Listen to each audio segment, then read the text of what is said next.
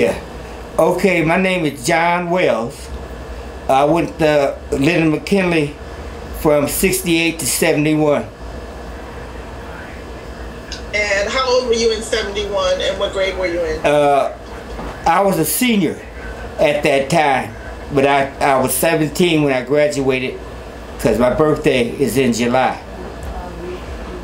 Okay, very good, very good. Now, where are you from, and can you tell us how you came to be, how and why you came to be living in Columbus uh, as a teen? Well, uh,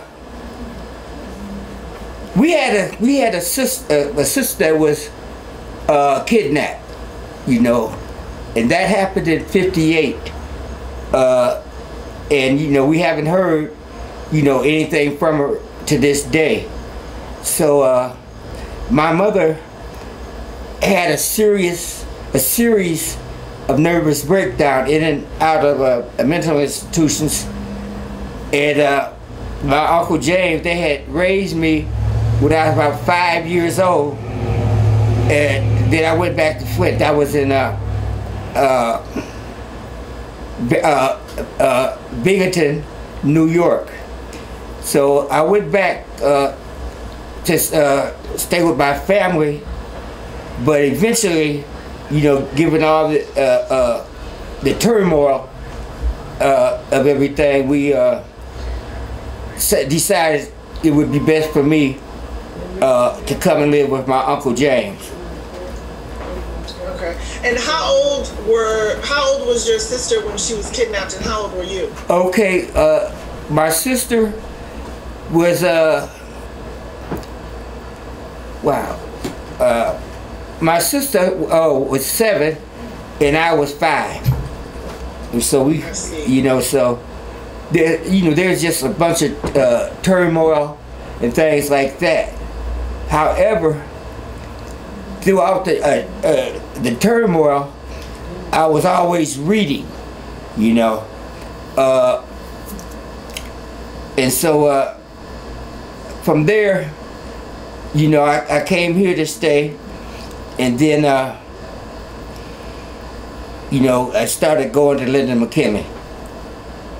So looking back um, from where you are now, how would you say your sister's absence and, and her being kidnapped, by the time you got to Columbus and you were a teenager, how was that affecting you?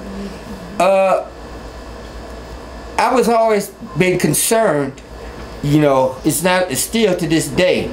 I still think about it two or three times a day. Uh, so she was going. Uh, she went down the street in uh, in Flint to Marengo Street, and uh, on Marengo Street to my grandmother's house. Then she uh, left grandma my grandma's house and said, you know, she on her way to school, and that's the last any of the family uh, knows about, uh, you know, that.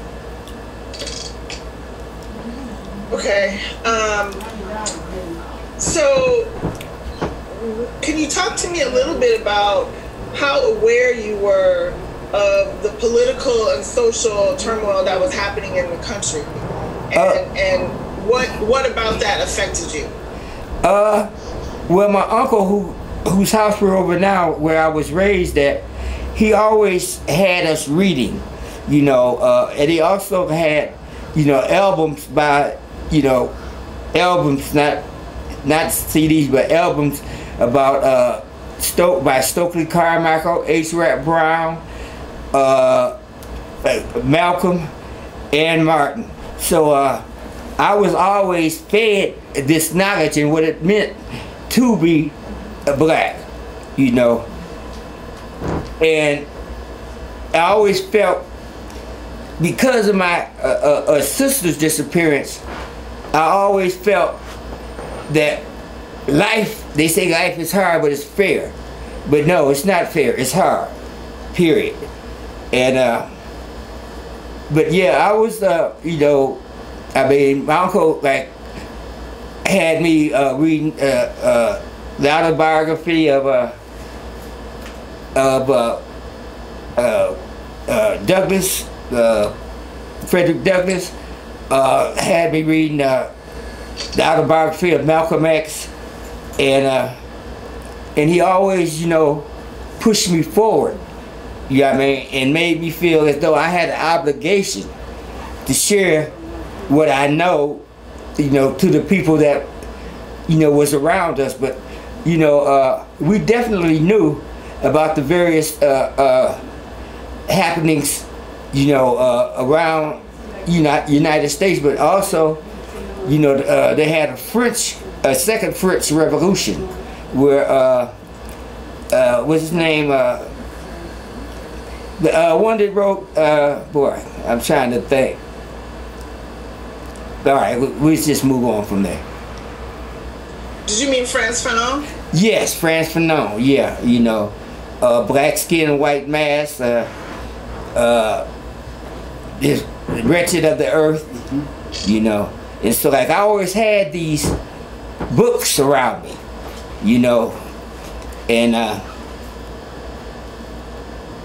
so I was prepared, you know, when the outbreak came, I was prepared to uh, assume a very outspoken, uh, uh, maybe outspoken about what I've been taught, you know. And like I had two uncles that were in the Nation of Islam. So, uh, you know, I was I always, uh, you know, my people were very, very uh, politically conscious. And, uh, and that was, you know, and I, you know, I was thankful, you know, for that knowledge. You know, I was equipped to deal with, you know, what was happening at the school. So I want to ask you then, just to be a little more, a little more personal to you. So you had this this foundation from reading, so you knew yeah. about what ex- what Black people had experienced in the past, mm-hmm. and then you were reading things that were a little more current, reading Frantz Fanon, these other things. So then, what were your thoughts and your feelings when you would see what was happening, say on the news or in the newspaper, what was happening at the time, at the current time in this country? Uh, I remember like I was staying here. I was think I was 12 years old. Well, no, I was 13 years old, and I was uh, outside uh, shoveling the snow, and I still remember my uncle hollered out that they done killed Malcolm. Know, they done killed Malcolm, and uh, so uh, I just felt it it was necessary for me to share you know, the knowledge that I have and you know uh, so I, that was uh, pretty much it you know what I mean? So you you said that uh, your uncle came out and said that Malcolm X had been assassinated. Yes. And you felt like that that made you uh, feel like you needed to share the knowledge that you had. Yes yes. That's correct. Okay so then that leads to my next question. What was your nickname in high school and why? Uh, my nickname, they used to call me uh, uh, Turtle, right? Because uh, I was really lifting weights up and they said I didn't have no neck like a turtle. so they called me. Oh, wow. Yep. did, did you did you have another nickname? Shabazz. Yeah. Okay. That that day came after huh? Okay, that uh, name came between my uh, graduation from Linden McKinley and my uh, going to Ohio State University. I see. Yeah. And why? Why, you, why was that your nickname? Uh, Shabazz, because uh, I was in the Malcolm. Still am. Yeah, I mean, so uh, El Haj Malik El Shabazz, you know, was Malcolm's uh, name, and my name is Ali bin El Shabazz. You know, that's what I was known at, known at at that time. You know. Right on. Okay, so I want to ask you a little bit about about Linden, about the community. Um, what was it like there? And I understand you were coming from a, you know a different city, but what was Linden, the community, like when you were living there? And then from that, what was it like at the school? Did you feel racial tension in either in the community or the school? I remember uh, one time my uncle, there's some white folks living it on the other side of the alley. Now I remember my uncle uh, had gotten an argument uh, with a white guy, and uh, he told him, "Look, I got rights, and I'm gonna keep my rights." Yeah, I mean. Then the, the guy said, uh, "How he said it's civil rights," and he said, "No, this is human rights." So, you know, he uh, really stuck up, you know, and you know, and that you know shaped, helped shape, you know, where I was going. Now, uh, as far as Linden McKinley uh, go, there, there's there's some di discrepancies uh, between how black students were treated as opposed to the white students were treated. And so, uh, even though, you know, some years after it's been 50 years, so uh, as far as I can remember, it was a, a Black History uh, a week. It was it wasn't a month back then. Black History Week.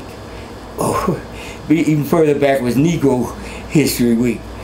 Uh, but uh, so there's this uh, tension and stuff, right? You know, between blacks and whites, and and how uh, uh, we were treated differently.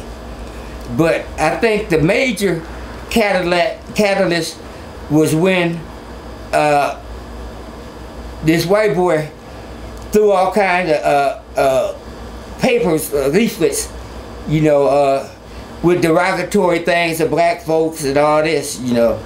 And from there, you know, uh, I forget how me, Harrington, uh, Whitaker, and Mark, uh, I really don't know how we got together, okay? But somehow it's got, we started, you know, meeting in the basement, you know what I mean? And, you know, my uncle was proud of us. Okay, so I'm going to ask you about the Flyers incident in a little bit, but if you could speak to a little just about the vibe at the school in terms of, and, and also did the racial makeup of the school change while you were there? How did it change from your freshman year to your senior year? Uh, well, uh, I guess that uh, it was it it became uh, it was fewer, uh, not as many uh, white folks or students in uh, uh, at Linden McKinley. You know that changed from uh, my uh, freshman year, or I mean, well, my yeah, freshman year to my senior year, you know, and uh, but you know, after we, you know, start to moving and start to organizing, I mean, we had great support, not just by, uh, you know, by family, but you know, we had, you know, the parents did come in after. I, I made a thing where I would tell them, y'all, y'all ain't my par uh, parents. If y'all can't help us make this right, then you're not our parents, you know. So, but uh, the uh, the people the people really, uh, how I want to say, the people really uh, supported us. You know what I mean? Yep. Because uh, so go ahead. No, no. So, so would you say so you're saying that when you started, there were more white students and fewer black students, and by the time it was 71, that had changed. Yes. There were more black students. Yes. And were you like did, did things feel different? Do you feel like there was was there tension from that or no? And I and we'll talk about the incidents, but you know just the vibe of the school. Uh, well, like anything else, you know, white folks uh sat at the lunch table with white folks, black folks sat, at the table uh, with black folks. Uh, and I was all right with that. okay, so you were, you know, you were definitely viewed as a leader uh, by your classmates. I've gotten that from a number of them. Okay. I really from all of them. And you hosted a group of black students who met in the house where you are now, your uncle's house, which is where you were raised. Now, yeah. what I'd like to know is what made you do that? What made you decide that you know, that you, outside of school, that you would have people come together and, and sort of continue your education in, in a sense. And what did you all talk about and what were your goals? Uh, our goals, uh, uh, was to have, uh, black culture. Uh, so, you know, in the school. We had pictures of Malcolm, we had pictures of Martin Luther King, uh, you know, uh, so like we started, you know, I mean, we were, again, you know, we, we were a product of our times, you know, and uh, so like with all the things that was going on, uh, we, uh, I, I, the word I want to say is, uh, uh, Z, zeitgeist. Yeah, I mean the atmosphere. Zeitgeist. Yes. Zeitgeist. Yes, the atmosphere uh, at that time around the uh, uh, around the nation uh, influenced us that we could make changes. That we could make changes. That you know we like uh, we uh, had a petition uh, you know, like uh, this guy, Ernest Sullivan, he was a 4.0 student all the way, you know what I mean? And uh, we felt that uh, even though I played football and wrestled and stuff, we felt that, you know, the sports uh, was getting more, uh, uh, uh, getting more attention paid to it than the political uh, uh, thing that we, we were trying to impart. So, like I'm saying, it was it was a, like a, it was the time, also, you know, that we was coming up, like you know, like at, right now, you know, we we probably wouldn't have done that in a different time period if we came about came of age in a different uh, uh, context. Sorry, for you, what made you take the initiative to do that, to start these meetings and to host these meetings? Well, uh, I was just, you know, outspoken. Yeah, I mean, they was like uh, Johnny Harrington was uh, uh, fancy John uh, uh, Whitaker was uh, uh, yeah, Harrington. Oh, Whitaker was okay. Whitaker was a boy. Whitaker was a uh, damn. I can't think of the word we have like uh, foolish. Oh, fast. Uh, Whitaker was fast. Harrington was fancy and I was uh, uh, foolish. And, and that was because I say and do any damn thing to, you know, I wasn't into like negotiating. I wasn't into, you know, like, I really thought we could make a revolution.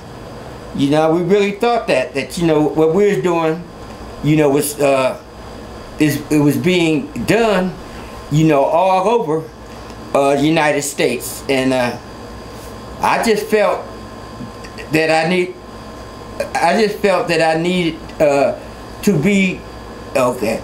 Okay, I just felt that I needed to be uh, a part of something greater than myself, and that happened to be, you know, the movement. So exactly how we first started meeting over here, I don't even I don't recall, but I do recall that. Uh, we had some uh, some bodacious uh, uh, attitude that like we can, you know, tear the beast down.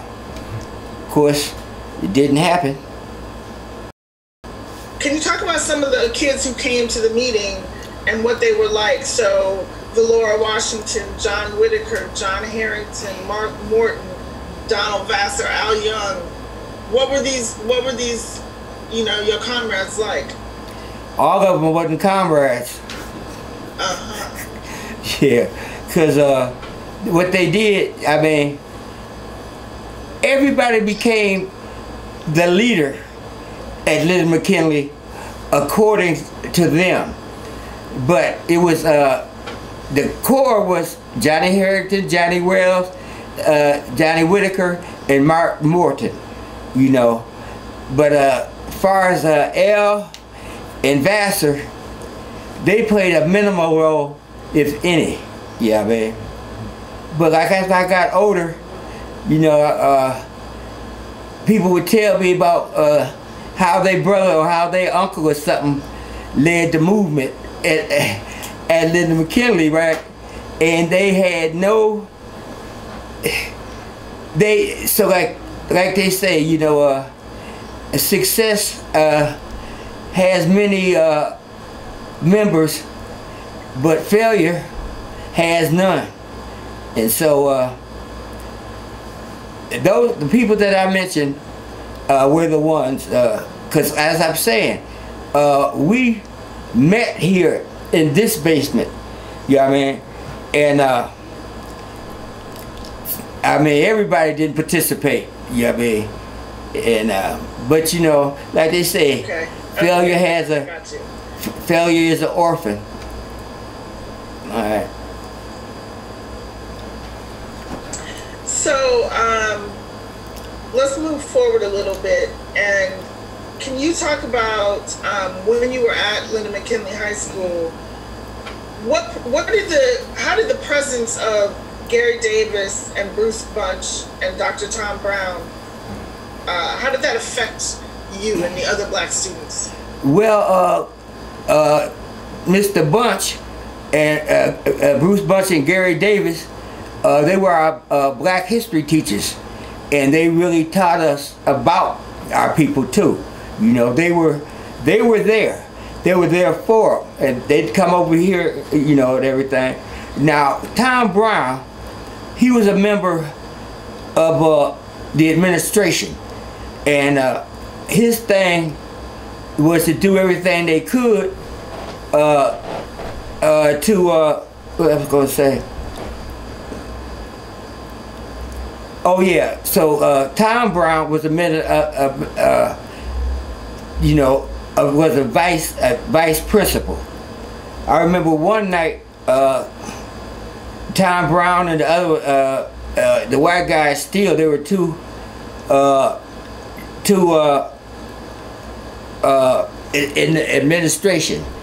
But they came over my house, this house, around 10, 10 o'clock uh, one evening and, try, and to tell my uncle that I was uh, de helping destroy one of the best uh, uh, principals in the Columbus uh, uh, in the Columbus public school system. And you know, I, I was not interested in anybody that was uh, uh, not wholeheartedly supporting us. You know what I mean? And Tom Brown at that time, his his major thing was to play his role as an administrator. And he, uh, he, they came over one night, like I said, told my uncle and everything that, you know, so my uncle at that point uh, said, okay, I'm gonna calm him down, right? But I didn't calm down, you know, so. But uh, Tom Brown, uh, as I said, he, he was a well, he's on the other side. Let's put it just like that. You know, he's on the other side. What we uh, were doing uh, was not. He had little value for that, you know, and so. Uh, but uh, did, go ahead. So, did you feel like? Did you get the sense? Uh, I guess before that or after that that the things the organizing that you were doing and the conversations that you were initiating and facilitating was causing problems for the administration. Oh most definitely. Can you talk about that a little bit? Well uh you know we we were pretty arrogant back then. Like uh we had start we had people that was working uh, in the audio visual uh, uh, room okay and like and some of them were with us okay and uh we used to have uh, them uh, go ahead and call meetings over the intercom, right? So they they shut down the intercom and told you know start telling us that it was broken everything like that. Until one time, you know, like everybody had just started leaving uh, the classroom because we had people knocking on the doors of the classroom and meeting in the auditorium. And uh, mm, I lost my thought right there. But uh, I, I, will I'll go back to that because I, I think I know what you're referring to, and I'll, I'll get to that a little bit in a little, little Okay. bit. Okay. So, so um, uh, I want to ask you about uh, February of 1971 and the Black History Week performance that happened in the auditorium at Linden McKinley High School. Were you there for that? oh yes, Can you please describe what happened? What okay, okay. Could you uh, rephrase that? Uh, what am I supposed to be saying? I mean, referring to? No, I just want you to talk. I want you to talk about the performance, the play, the Black History Week play, and what you saw during that performance and what happened afterwards. Uh, well, the first thing that got us all riled up, they uh, uh, was calling a uh, having a Black History Month uh, dinner for everything, right? And the principal, Mr. Reed, uh, got on the intercom and said we're gonna have Coulard greens, not not you know not collard greens, cougar green, green. You know what I mean? And so uh, you know, but uh, you know, like everything is kind of uh, everything is kind of uh, in a haze. You know, because like I'm saying, it it's been 50 years. You know what I mean? But uh, we okay after they shut down the uh, the uh, audio visual room, telling us it was broke. We just started sending people to knock on the doors and tell everybody that yeah we we meeting in the uh, meeting in the auditorium, and uh, now uh, myself and, and Donald Vassar, we were both uh, uh, in the in that play, you know, and toward the end of it, I don't know how long we've been going there, but toward the end of it, uh, the guy Rick Warren, that's his name, the guy uh, that threw all these leaflets, you know, I, I don't remember what they said, but they were very derogatory, you know. Uh, I mean, I don't know if he used the N word or not, but what he didn't have to. We know what it meant, what he meant, you know.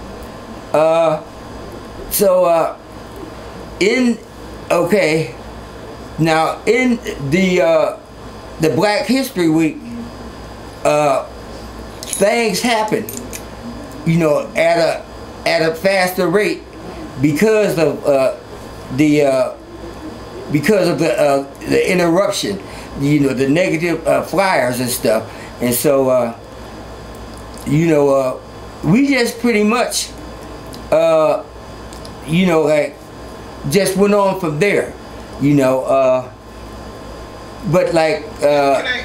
all right, I'm just. Uh, I just want to interrupt you. So I'm sorry to interrupt you, but I want to pick up when the flyers came over the balcony.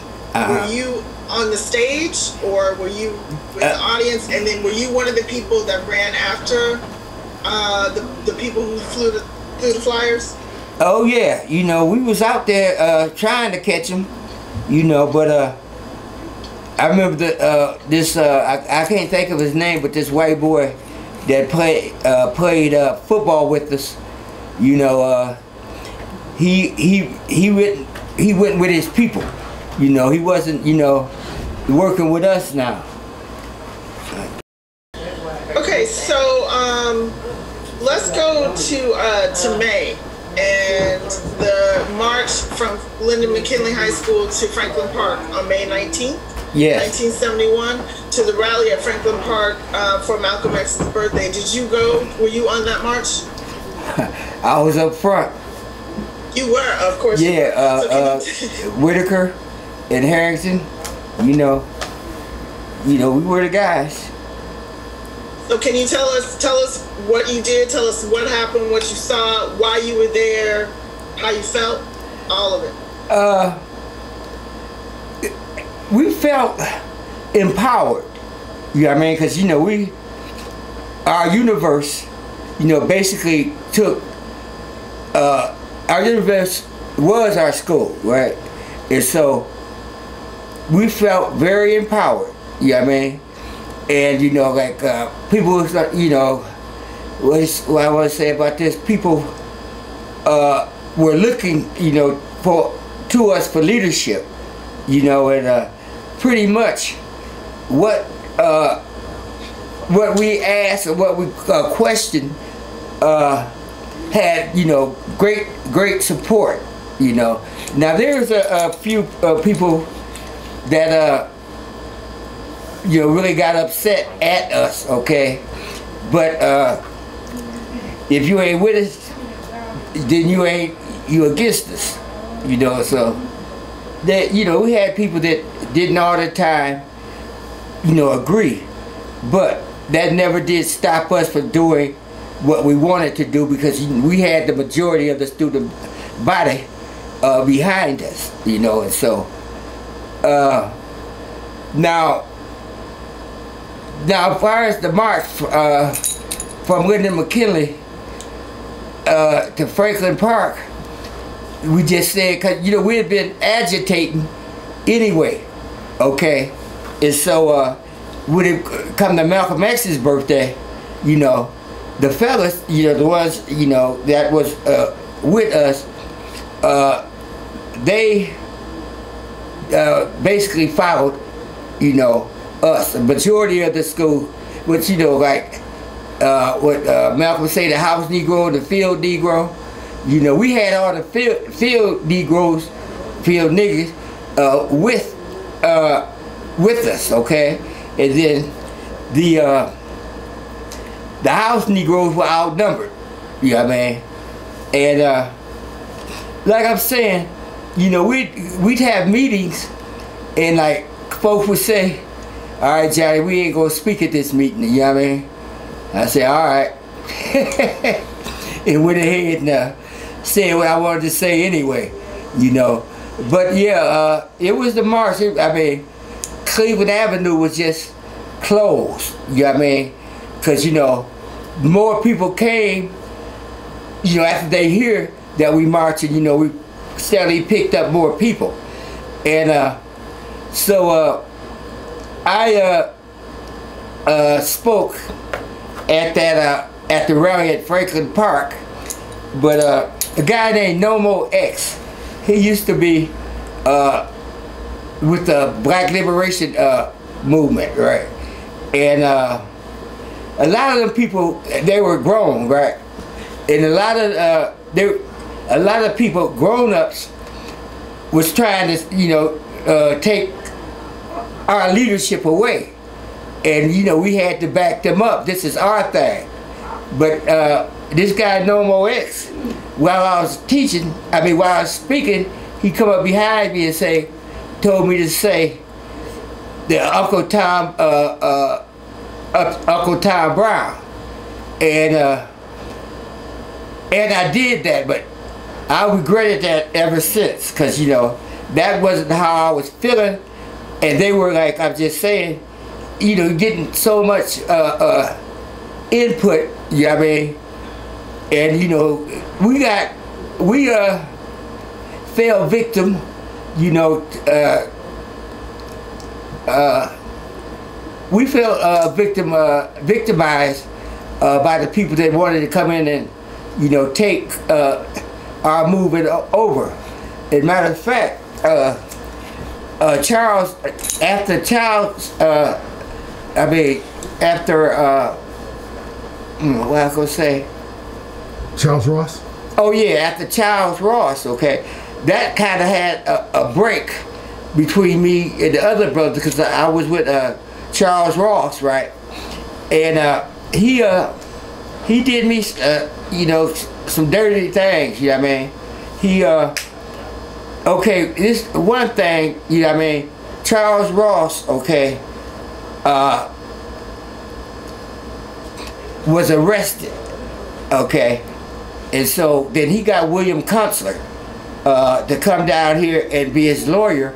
And so from then on, you know, it, it wasn't uh, the Linden McKinley students there, it was, you know, Charles Ross and, you know, and, and you know, and so like uh, he, uh, he once had a Get Shabazz uh, uh, meeting, mean, getting me a meeting. When it happened, he had a, he was the only one that was around, okay?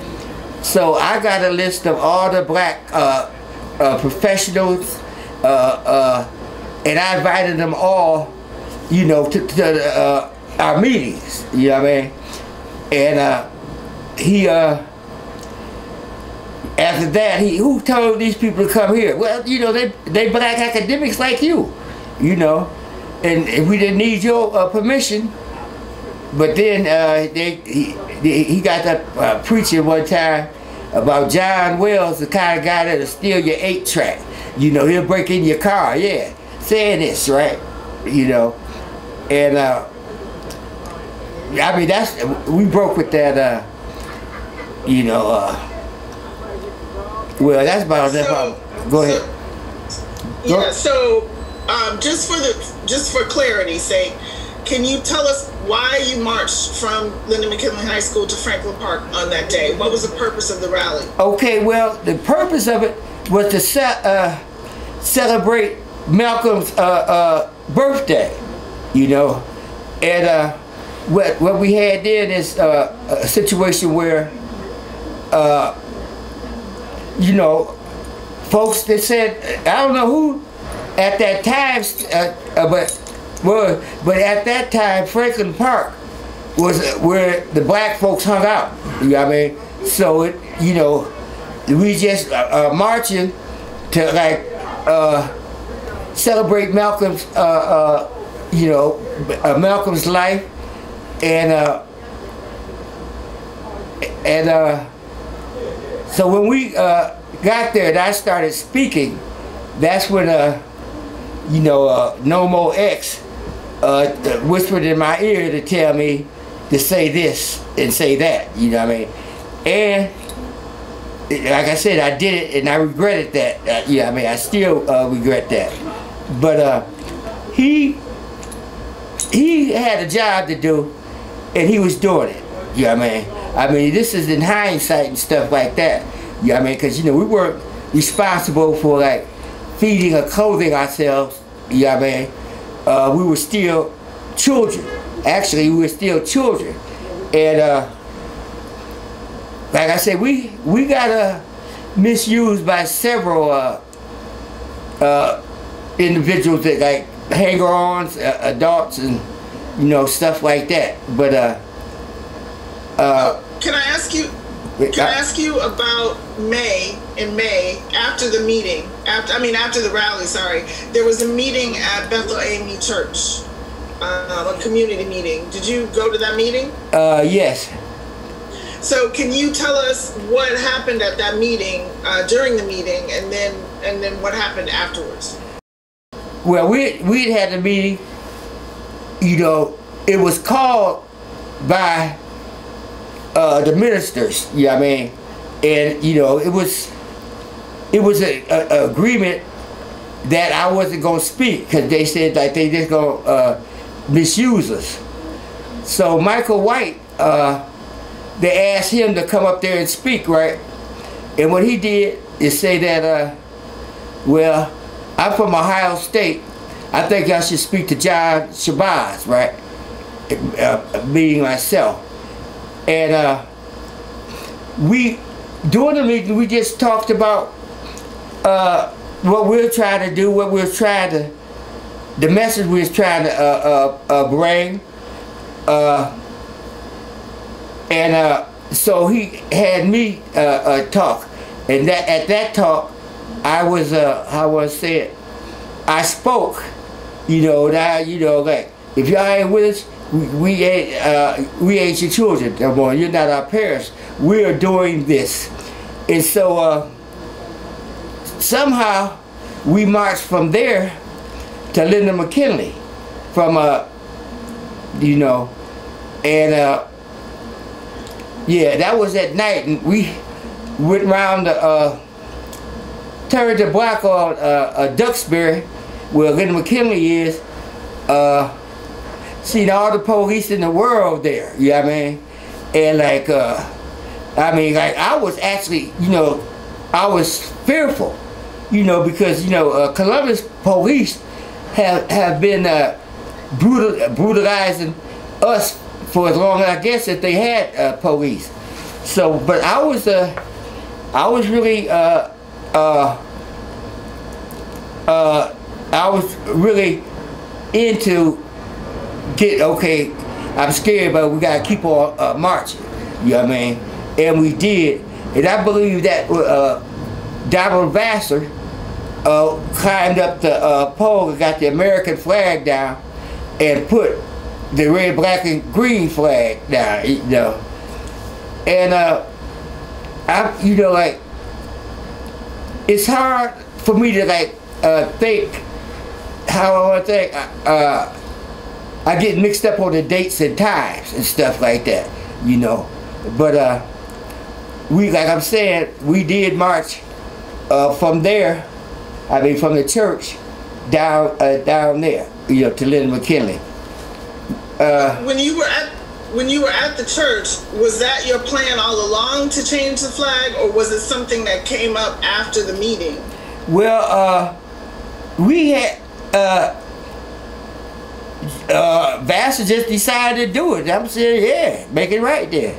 You know, and he did, you know.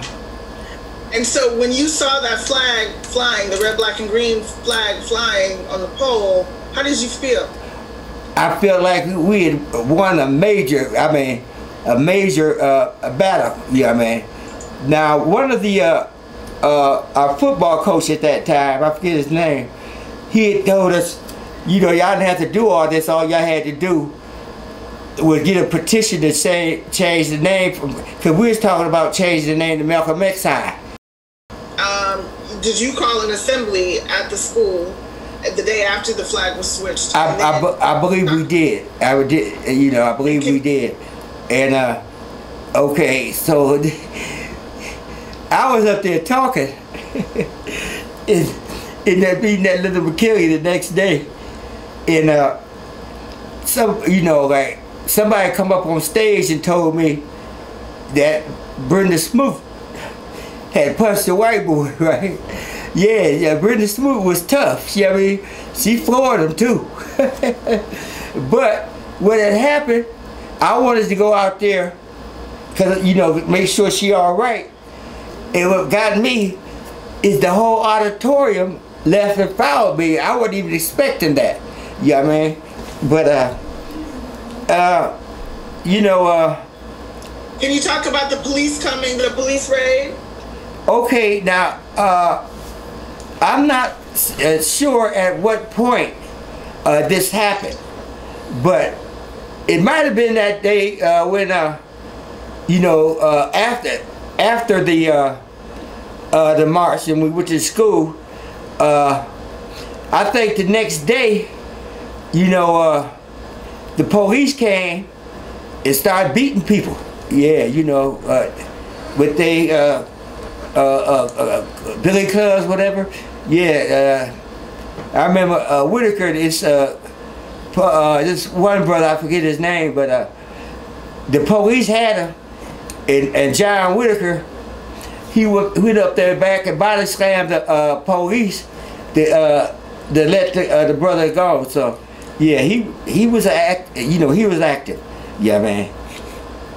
Can, can you describe what you saw of the police, uh, like the police violence? Was I mean, were there um, other other of your classmates that talked about kids being in the hallway and and just the, the chaos, basically? Yeah, it was it was pretty much chaos. Uh, but uh, like I'm saying, I did not expect people to follow me when I when I uh, went off the stage and into the hallway to check on Brenda Smoot, but they did, and I believe that's when the police came. You know what I mean? And uh, uh, Mr. the janitor, Mr. Green, I think, uh, you know, uh, he got arrested because you know he seen, you know, us getting uh, beat, and you know, he started to fight because you know we was his kids. You know, like he a janitor, but he was cool. You know what I mean? And like, and he was a grown man. You know what I mean?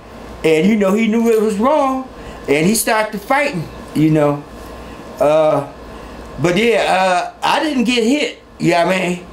But like at, at that point, you know, I didn't know where to go after this, what to do. You know what I mean? But uh, yeah, I, I guess that's about it right there. Yeah. Was it was it traumatic?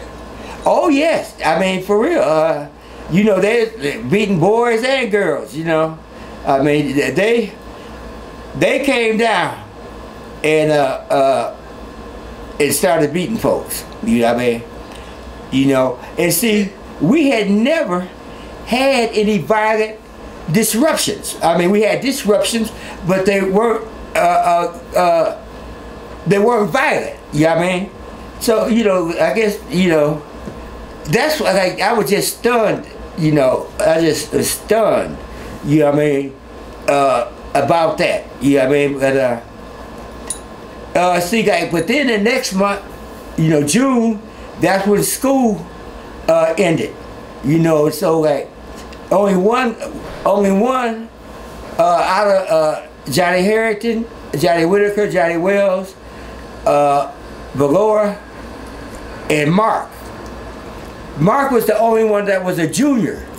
And we were all uh, seniors, you know, and uh, so uh, I actually tried to flunk myself. Yeah, I actually tried to flunk myself because, you know, it ain't over. You know I mean? But, uh, you know, like, you know, as I'm saying, you know, the exact chronology of events, you know, come, you know. That's, that's oh. okay. That's, yeah. It's all good. It's all good. Just a couple more questions, real quick. Okay. One is, can you can you tell me just in, in broad strokes, it's fine. How did the events of '71 affect you and your path after high school? You and know, not just '71, but your whole experience. Okay. At, you know, at Linden McKinley. Okay. Well, after Linden McKinley, uh, I went to Ohio State. Now, like my uncle he has raised me to be militant and to stand up. Uh, but uh, after after the McKinley, you know, they had made me the head of Afro-Am during my freshman year. You know I mean? Because you know a lot of people from uh, from campus, you know, knew me from my uh, what I was doing at Linden McKinley. You know what I mean? And uh, so it it it was like it was like a, a confusing time. But after now myself, after like I'm saying, they made me uh, president of Afro-Am during my first freshman year, you know, because you know I had you know people knew me and knew where I come from and everything. Uh, but after that, you know, uh, after Charles Ross turned on me, I, uh, he broke my heart for real, you know, because he's, you know, I mean, you know, he's the one. Okay, then another thing, we uh, had a march from Linden McKinley. Uh, we were on march downtown to the uh, the state building. Okay, so when we get down there, it's Columbus Day, right? And all the uh, things was uh, shut. And so Charles Ross, he got to blaming his sister for the mistake he made, okay? And so what I did, I said, Mr. Ross, uh, Mwanza, you know, uh, it was me and you that uh, made these plans, not that sister.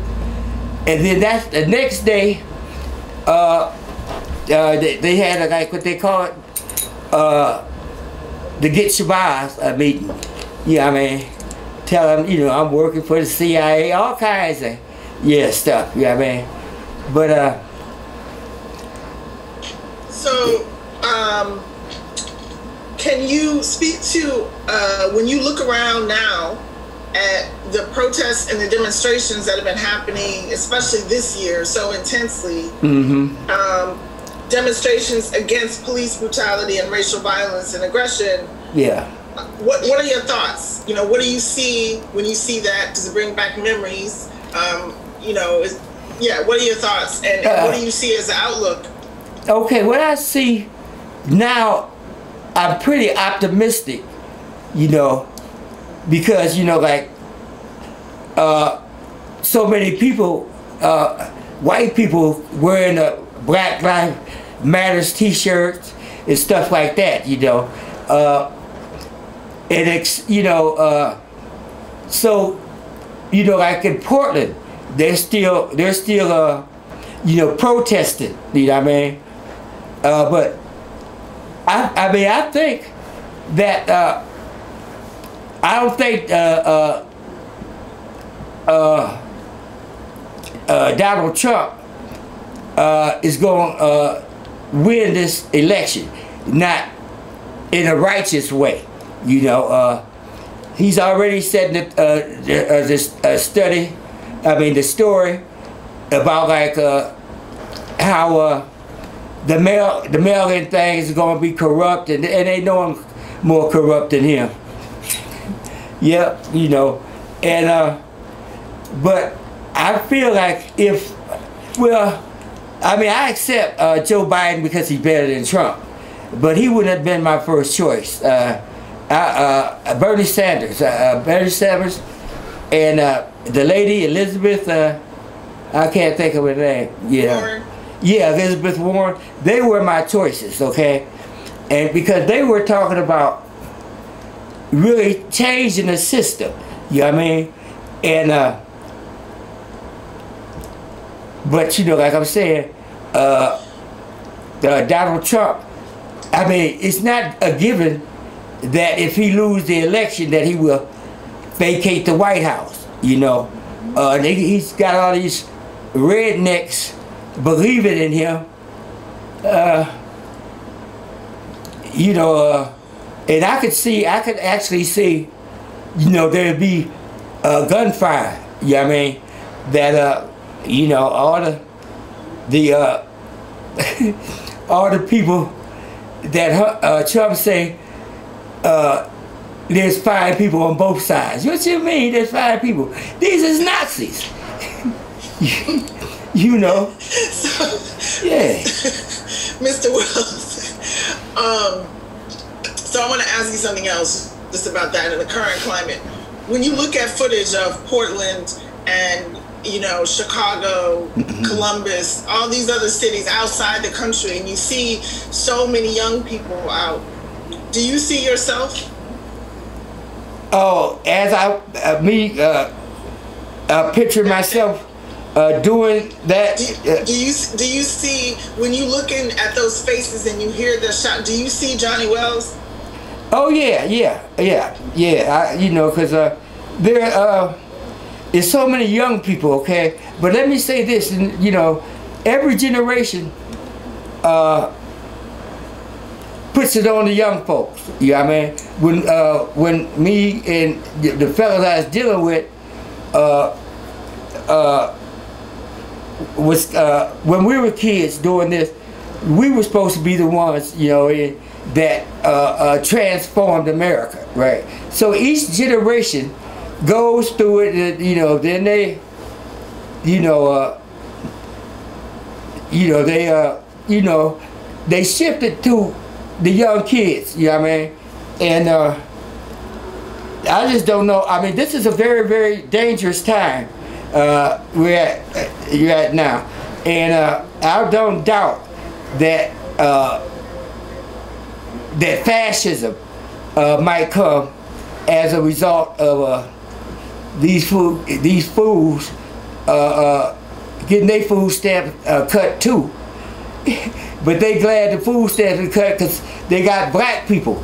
You know what I mean? That black black folks is the one on welfare and stuff.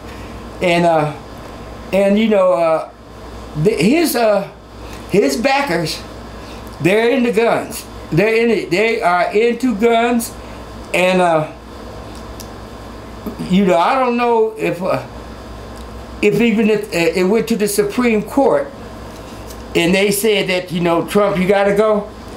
I don't know if he uh, would leave then. You know. So, so, and this is my, I think this is my final question. We're at 11:30, and I know you you've given us so much that you know. Thank you very much, and I want to ask you this: if you could say something to young activists now, what would you say to them, given all of your experience and everything you did, your place as a leader, as a natural leader, what would you say to young activists now? That uh, keep, you know, as Jesse Jackson said, keep dope alive, I mean, hope alive. but uh, if I could just say things like organize, organize, organize.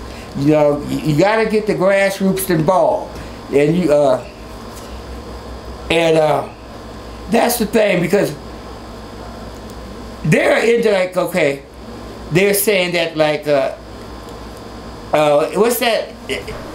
Antifa, Antifa? Antifa. Yeah, Antifa. Yeah.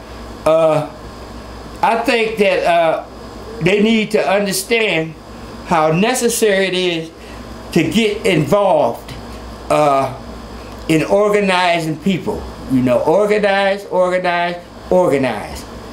Uh, but that's, you know, that's the thing that, okay, like, if we had a done things right, we would have did more organizing as opposed to like having, you know, marches and stuff. You know, and that marches is fine, you know what I mean?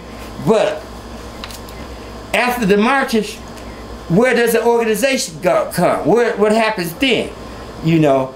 And uh, I mean like uh, I could uh, go back like with the Panthers, you know, they had uh, free health clinics, you know, they had food uh, uh, and clothing uh, giveaways, and they actually, you know, they actually uh, set an example for how it should be, how, you know, and uh, Huey Newton uh, was working with the Weather Underground, you know, yeah, the Weather Underground. It was this. Uh, they were in the bombing.